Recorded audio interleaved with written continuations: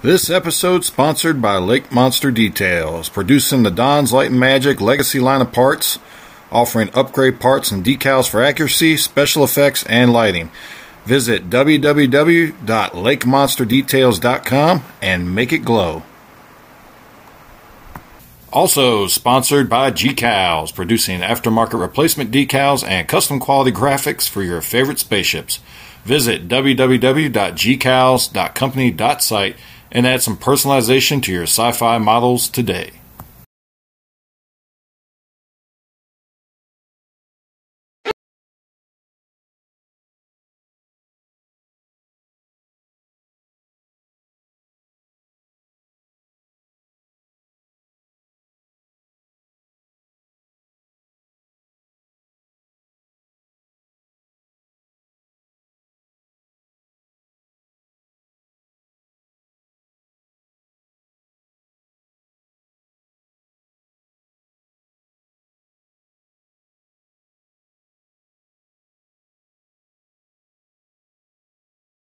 Model from the Ensign Chair. This is episode two of the 1 1400 scale Enterprise C build, and uh, I thought it appropriate to throw on the, uh, as most people refer to it, the Wrath of Khan uh, duty jacket because they still wear this uniform on Enterprise C that we see uh, in yesterday's Enterprise. So, thought I'd throw it on real quick and do my intro. Uh, this uniform isn't complete.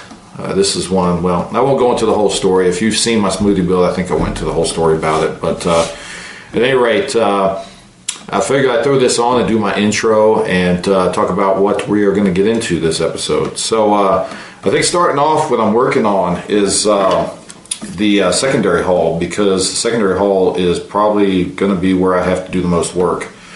As far as trying to get this as close to screen accurate as possible, it's not going to be 100%. Um, there are going to be some changes that I'll talk about, uh, some, some things that are different with this model that I'm not going to worry about working with.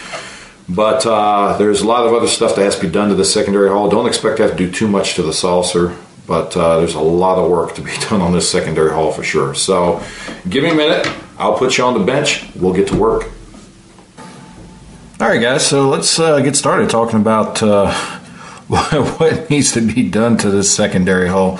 I started with the secondary hull. I usually like to start with the saucer, but this is going to be uh, probably the biggest task. I don't see having to do that much to the saucer, but there's a lot of work to do to this to try to uh, uh, to make it uh, as screen accurate as possible, or as close to the filming models as possible. Um, now, like I said, I'm, I'm, not worried about 100% because there are going to be some things on this model that weren't present on the Enterprise C filming model. Greg Jein made some changes after yesterday's Enterprise as long as he made those changes, I said I was good with it. So this uh, phaser bank was never on any of the studio models, so that's going away. I've already mentioned that. Um, I started working on that, filling it in, sanding a little bit, filling it in, sanding, and uh, I've also I don't know if you can notice now because I've kind of sanded them off quite a bit here, but uh, there were two lifeboats right here, and uh, these lifeboats should be further forward obviously AMT moved them back to accommodate this phaser bank going in here. So once I get this filled in, um, this one did come also just just like with the uh, clear Yamaguchi model. This one did come with the extra uh, transporter emitters and the extra lifeboats. So uh, I'm going to use these lifeboats to uh, to move these forward. So I've already sanded most of these off. Um, you can kind of still see it on this side. You see the two lifeboats here. Uh, this lifeboat should not be sitting on this panel line. It should be forward. Uh, both these lifeboats should be further forward. This one should be sitting about right here, and then this one should be sitting just forward of this panel line. So I'm going to correct that. I'm going to go ahead and sand those off and uh, move those forward. So uh, that was one thing that uh, I noticed needs to be done. The other issue I'm having is that when you look at uh, the studio model, um, there is a row of windows, and I talked about this already in the preview, but there's a row of windows that need to be above this panel line, like just between the neck, the bottom edge of the neck, and this top panel line. So I need to start putting in a row of windows. I actually started to drill some pilot holes for it here. But the problem I'm running into is I'm noticing that uh, these curves aren't correct. Uh, this line, this panel line coming in, comes to about here and starts curving down. And uh, when you look at the studio model, and I'll put a picture up of this, but if you notice this area on the studio model, this line, these two lines actually come closer together at the front instead of this turning down and uh, trying to keep the same distance between these these two panel lines. Uh, these two panel lines actually come closer, a little closer together at the front end here. So that uh, you can see I'm already starting to work on filling it in. And let me say that uh, I've seen people singing the praises of the uh, Bondo uh, glazing and spot putty for a while.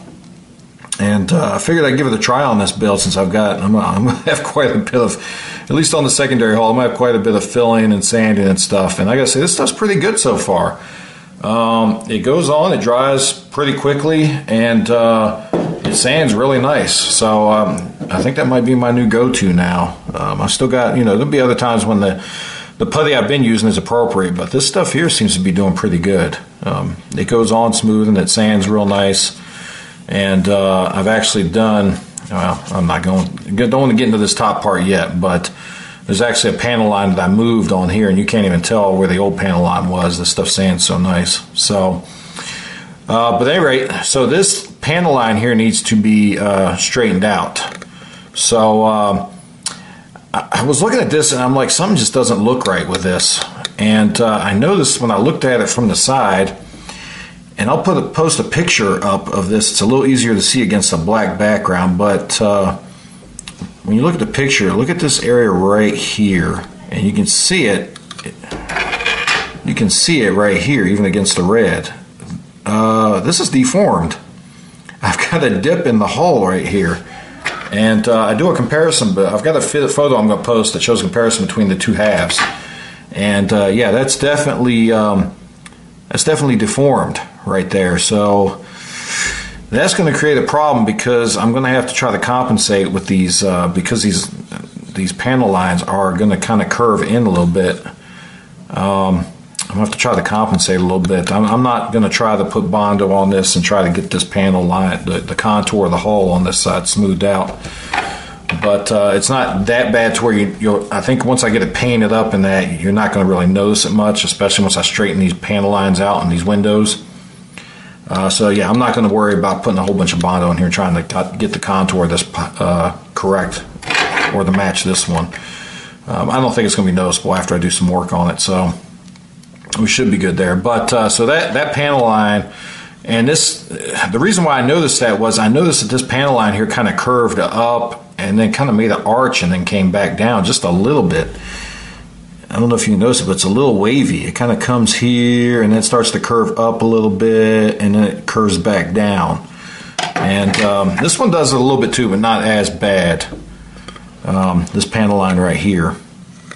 Uh, it's not as bad as that one, but this does need to be straightened out still because this should not curve down. Uh, it should not curve down on the front here like this. And you see the windows kind of kind of come down and uh, I talked about that in the previous video. That shouldn't be like that. It should be, this panel line should be straight across. And that's the way it is on the studio model too. So I need to fix that. Um, so I got a bit of work to do right off the bat uh, to try to get the secondary hull where I need it before I can even start uh, moving the windows around a little bit. Because um, remember, we're missing the row windows to begin with anyway. So I need to add the row windows here. And then when you start looking at the studio model, between this panel line and this panel line, there should be two rows of windows. And they've only got the one here. And then between this panel line and this panel line should be two rows, which is correct. The other thing I noticed about this, though, is that uh, the Enterprise C, the, uh, the, the Starfleet emblem on the side was kind of lower on it. It kind of went right here between the, you know, this panel line and this one. You'll notice this panel line is kind of at the bottom edge of where that back section is going to go. And there's these two lifeboats, which I don't believe are present on the Enterprise C model. Um, but I'm not worried about taking those off because, again, that's, that's a change that was made by Greg Jein. They are present on the Yamaguchi model. But uh, so between this panel line and this panel line, that's where the emblem was on Enterprise C. But when you look at all the uh, the models after that, uh, it actually there was a little more space made between this this row of windows and this row, and your Starfleet emblem actually lines up with the bottom edge of these lifeboats here. So, uh, I think I'm going to leave it as it is because it is correct to the Enterprise C. But if I was doing the Yamaguchi, and I'm moving these windows anyway, I, I, would make a little more space here for that Yamaguchi emblem to, to or the uh, Starfleet emblem to go right here on the Yamaguchi. Um, so I don't know why that change was made, but it is. If you look at the two different, I'll, I'll uh, try to make up a, a, little comparison side by side so you can see some of these changes. But uh, uh, that's definitely one change there. But I don't need to change that on this because this is correct for the uh, Enterprise C model. That Starfleet emblem should go right here. Uh, but you'll notice that uh, on the Yamaguchi and, and, those models that came after. Um, this panel line is, pretty much it's like he filled it in to put the Starfleet emblem here. This panel line doesn't pretty much exist. I think it comes oh I think it comes out a little bit and then it stops. It just stops. So there's that. But like I said, I don't have to make that change on this one because Enterprise C, this is correct. Uh, this is where the emblem should be going. Um, a little lower on the hull than on the uh, Yamaguchi. But at any rate, um, so I, have got some panel lines to fix. This one here, I might have to do a little work on because this is where the saucers or the um, the hull is dipping in a little bit and it's making this line uh, a little bit distorted. So I may have to move this up a little bit and kind of try to even it out to, to uh, make up for that dip in the hole there. So got a bit of work to do on this. I'm going to do some work on that and uh, we'll come back in a little bit. I'm going to try to get this episode out before Thanksgiving and uh, get this out to you guys for, for at least a holiday. But uh, oh, one other thing I want to notice too while I'm sitting here, I want to mention uh, at the end of my my um, preview video or intro video, I had uh, posted a picture and made a comment that there were never any photon launchers placed on this model, on the studio model. Well, early, uh, AMT has taken it upon themselves to put photon launchers on here. so again, uh, if I stick to my rule that if it was a modification made by Greg Jein, I was good with it, uh, I would leave it. But Greg Jein did not put these on here. These were never put on here. Um, and Rick Sternbach, who, who, designed this model based on uh, the previous uh, designs made, um, even made the comment that he was surprised Greg Jein didn't pick up on the fact that he forgot to put photon launchers on here. But AMT has placed them on this model. Now it's up to you how you want to look at that. Uh, Greg Jein probably should have caught that and put photon launchers on there, but he did, and they weren't on any of the studio models. So, in my case, on this build anyway, I'm taking these off. Now, I got my clear Yamaguchi model. If I build that at some point, I might leave them on at that point, but uh, for this build, I'm, I'm just going to sand these flat, and uh, I'm not going to have these photon launchers on here. So, it's up to you how you want to go about that, though. You can leave them on there, light them up, whatever you want to do. Um, they probably would look look pretty nice if uh, you put some LEDs or SMDs behind it with uh, some fiber optic or that and lit both of these up. They'd probably look pretty nice, but uh, I'm not going to do that. Um, I'm going to stick to my rule. Like I said, uh, I'm going to stick to my rule that uh, if Greg Jein didn't make the change, I'm not going to leave it on this model. So anyway, there's that. And uh, let me go ahead and I'm going to get to work on this and we'll come back and take a look. Stay tuned. All right, guys. So uh, I haven't really done anything yet. I uh, don't say I didn't warn you. I've said before that uh, sometimes uh, trying to make these things as close to studio model as possible, uh, you're going down a rabbit hole. You don't know how deep it's going to go until you start going down it. And uh, what happened was, I started putting together my my comparison foot shots to show you that the insignia had moved and uh, realized while doing my setup that uh, it, the insignia actually didn't move. And uh, I'm going to correct that real quick. Let me show you this picture. Let me bring it up on my monitor here so I can uh, look at it real quick with you. But uh, so when you're looking at this picture, uh, the the, the gold box I put up there is around the same grouping of windows on each model. And you can tell that because they're pretty uh, unique in that you've got two top starting at that top left corner, you got a group of two windows, two windows, two windows, and then looks like one, and then at the bottom there it's two windows, two windows, two windows, two windows. So you can see that that's the same grouping. So the the uh, insignia is in the same place in both those shots. The only difference is On the uh, Yamaguchi model, which is the bottom photo, it's moved forward some because you can see on the Enterprise C on the top, you can see where the, the front edge of that uh, insignia is compared to uh, the bottom where it's obviously further forward.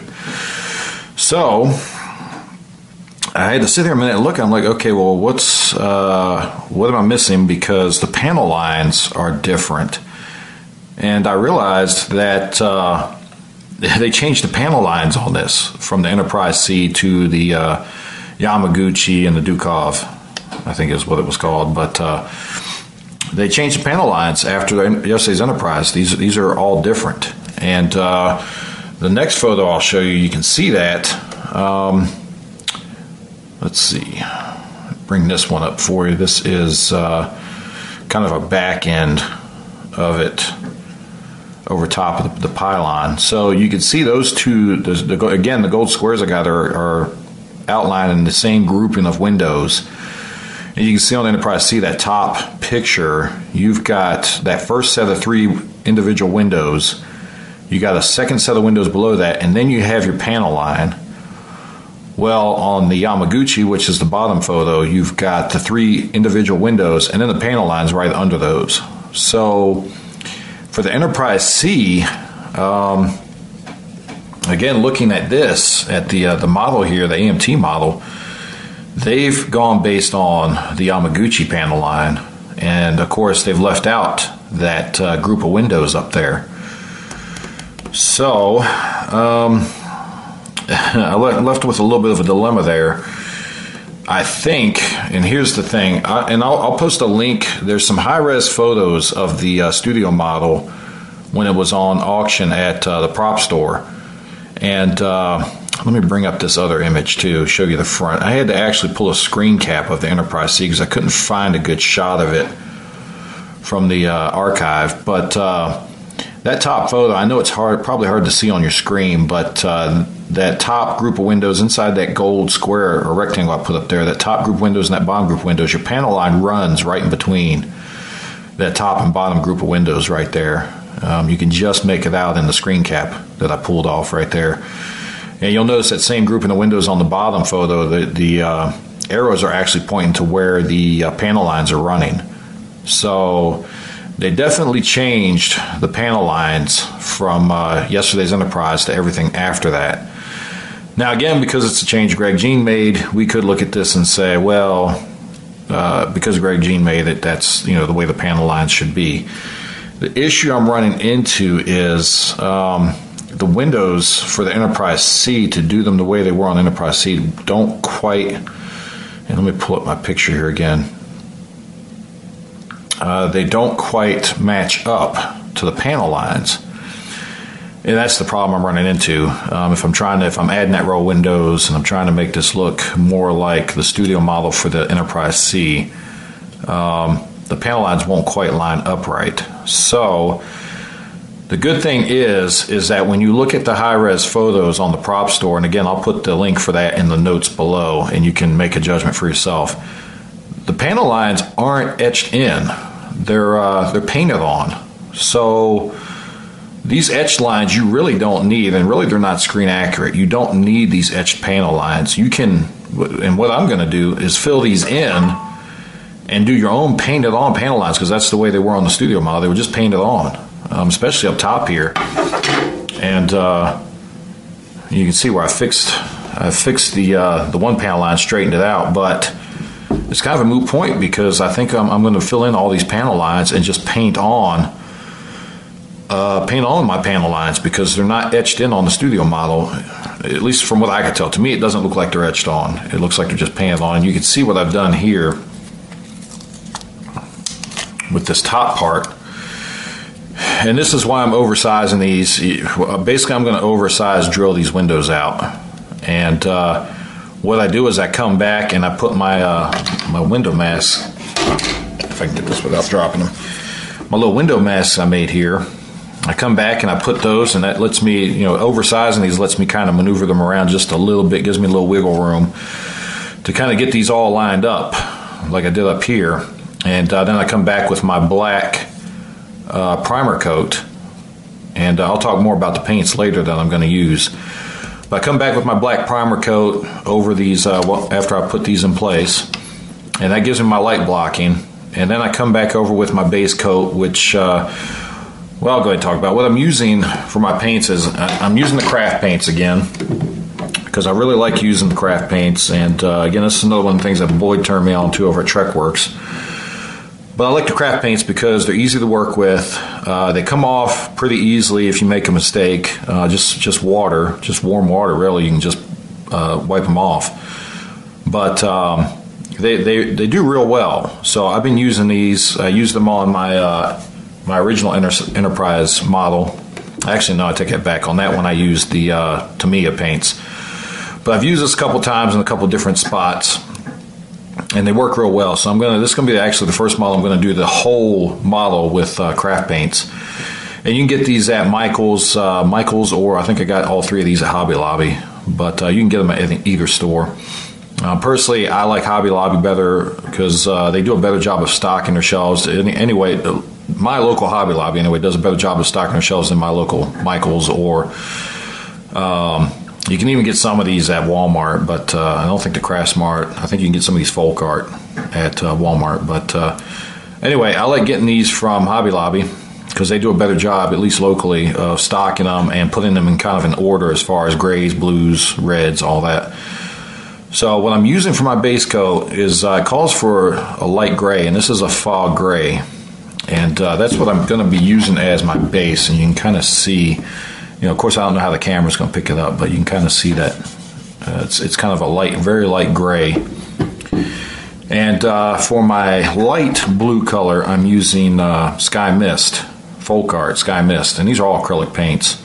But uh, I'm using that for my light blue, and I'm using the Folk Art Blue Bell for my uh, darker blue. And uh, I kind of did a little test swatch here and you can see the difference between the darker and the lighter blue.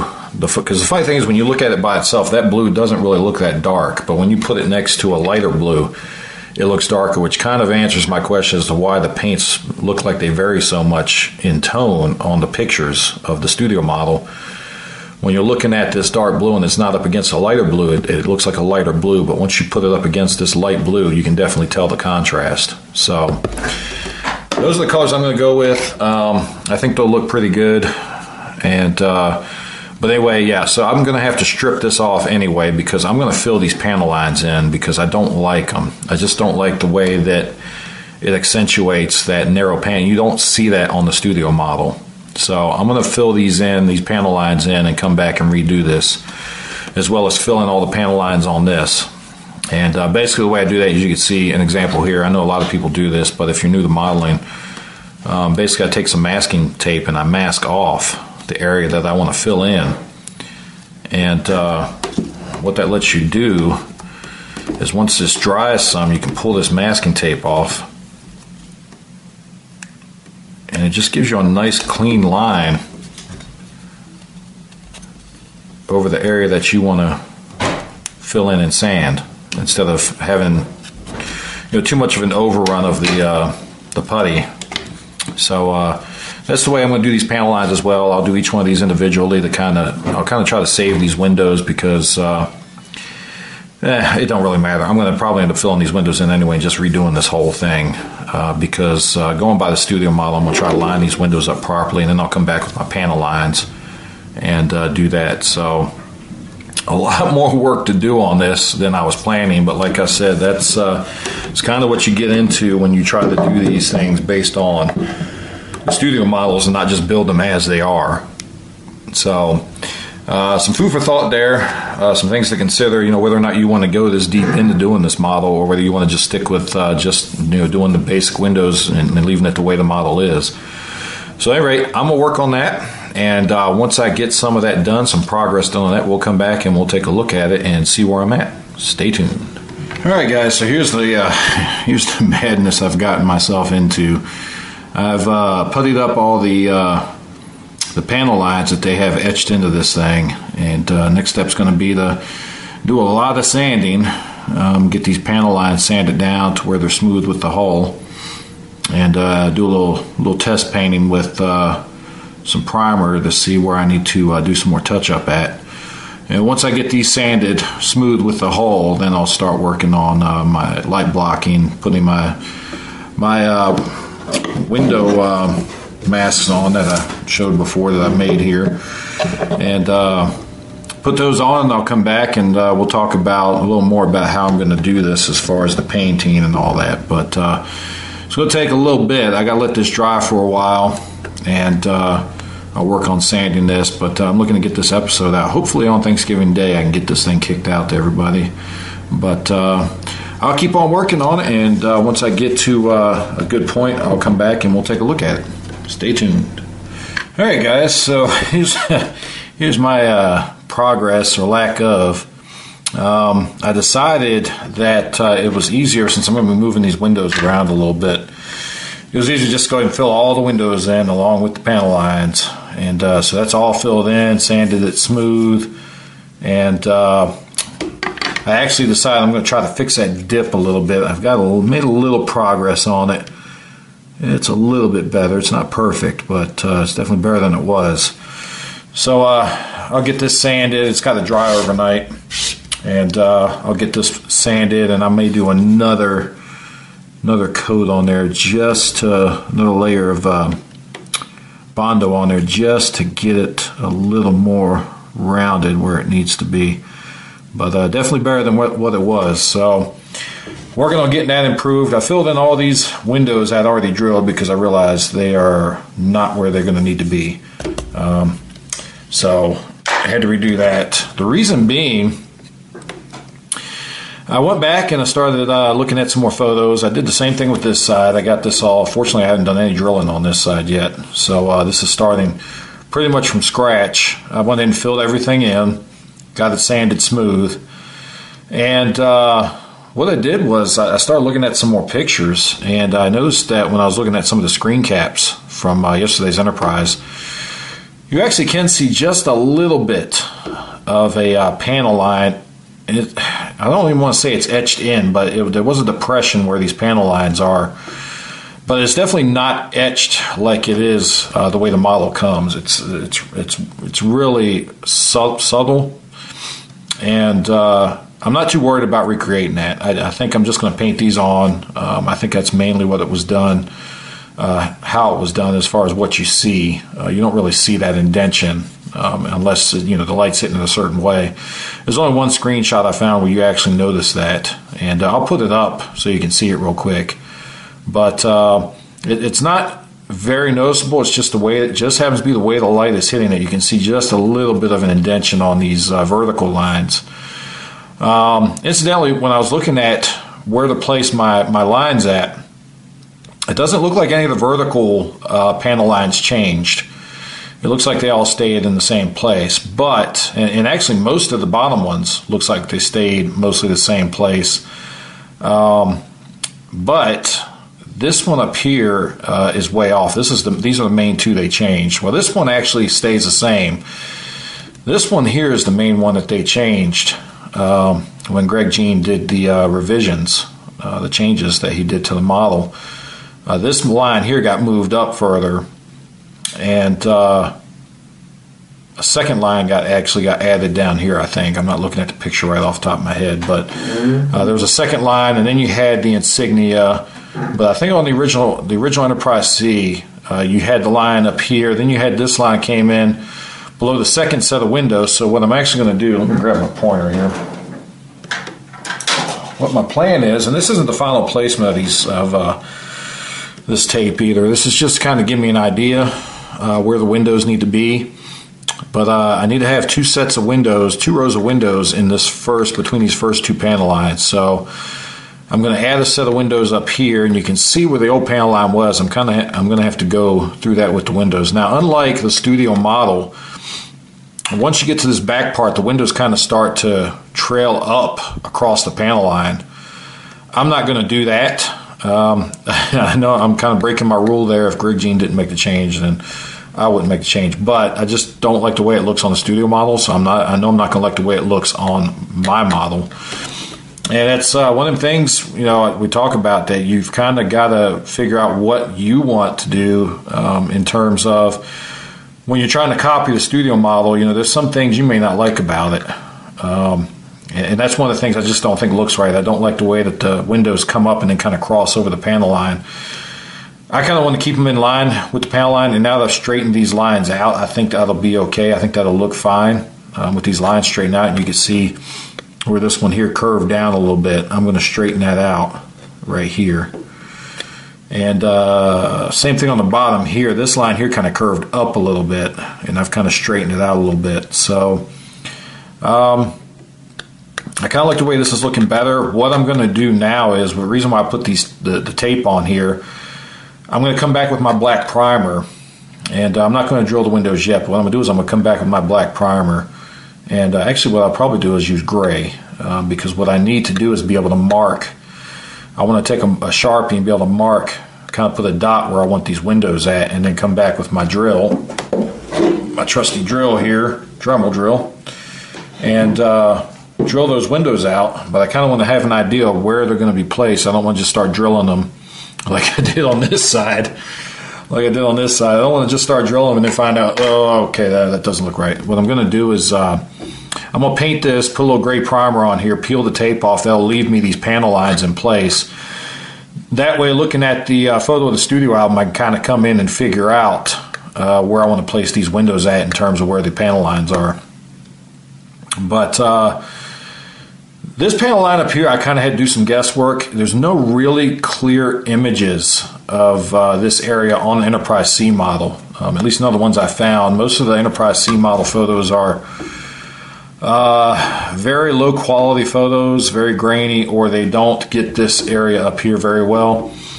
But my belief is this panel line exists on the Yamaguchi model, and I think this is where this panel line originally ran.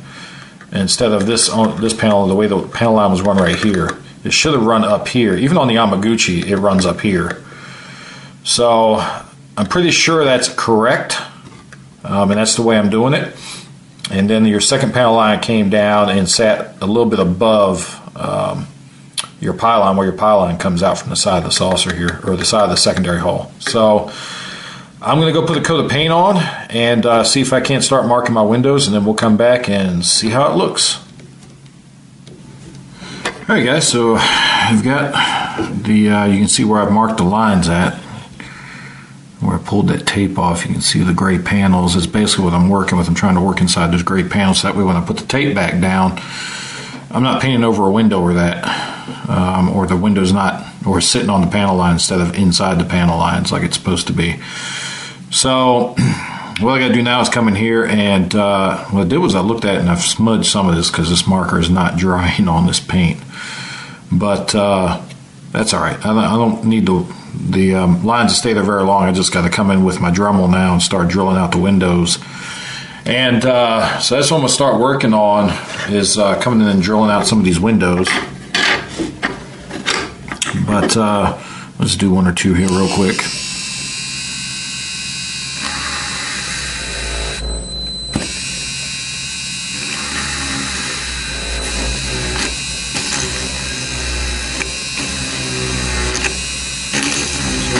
All right, guys, so uh, I got all the windows drilled out and I went ahead and filled them in with my UV resin. So they're all filled in. Uh, came back and sanded it with 220 grit sandpaper to get it all nice and flush and then came back over it with an 800 grit sandpaper and that's good enough for where I need it. Uh, the craft paints do a real good job of filling in any, any micro uh, scratches that might be on here. So uh, I'm also going to be using the uh, priming this with the Alclad primer and microfiller, the black primer and microfiller, and uh, it's a lacquer, so it'll do a real good job of uh, filling in any small little issues that we may have. And uh, also, what it does is that lacquer makes it for a hard primer coat, and that way, uh, once I get done priming, what we'll do is we'll prime this. Uh, probably start next episode. I'll work on. Uh, I got to work on finishing this other half and getting that ready and uh, then I'll get my window masks on. I'll do that primer coat, uh, that lacquer primer coat, and then uh, what I'll do is I'll put, uh, I'll um, I'll only mask off the windows I want light through. Then we'll do the primer coat, and then I'll come back and I'll I'll put masks where I want the rest of the windows to be, uh, the ones that are going to be showing well like to run lit. So that way, that primer coat kind of creates that effect of unlit windows. And we'll come back and we'll do the our base coat and all that. So, but I'll go into that more next episode. Uh, we'll just consider this episode a uh, prepping the secondary hull episode because this episode is getting kind of long already. So, we'll come back next episode and hopefully be getting into this and uh, starting to get some paint down and seeing how this is going to turn out. And uh, we'll go from there, see how it goes. But uh, at any rate, I do want to say that uh, I did get the decals uh, from Gus over at GCals, and uh, he sent me two sets in case I screw up.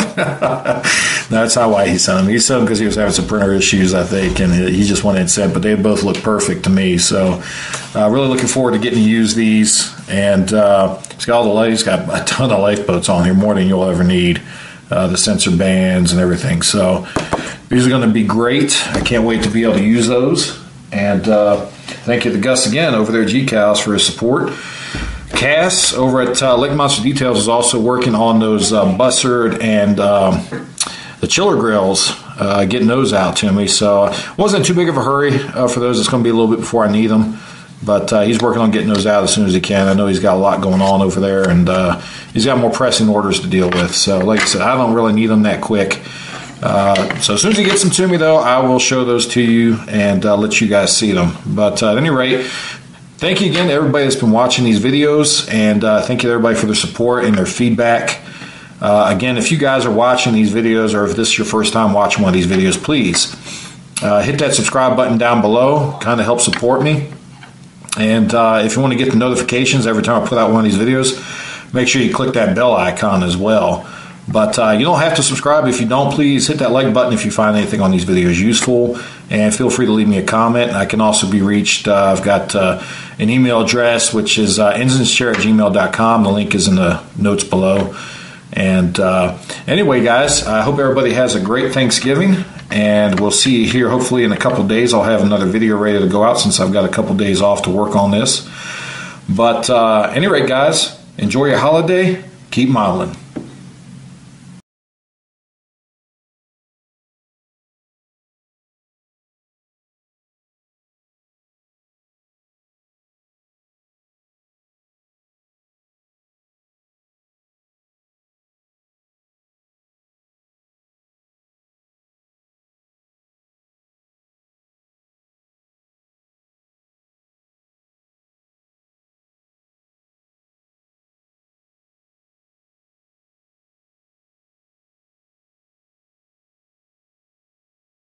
Sponsored by Lake Monster Details, producing the Don's Light Magic Legacy line of parts, offering upgrade parts and decals for accuracy, special effects, and lighting. Visit www.lakemonsterdetails.com and make it glow. This episode sponsored by Lake Monster Details, producing the Don's Light Magic Legacy line of parts, offering upgrade parts and decals for accuracy, special effects, and lighting. Visit www.lakemonsterdetails.com and make it glow. Also sponsored by GCals, producing aftermarket replacement decals and custom quality graphics for your favorite spaceships. Visit www.gcals.company.site and add some personalization to your sci fi models today.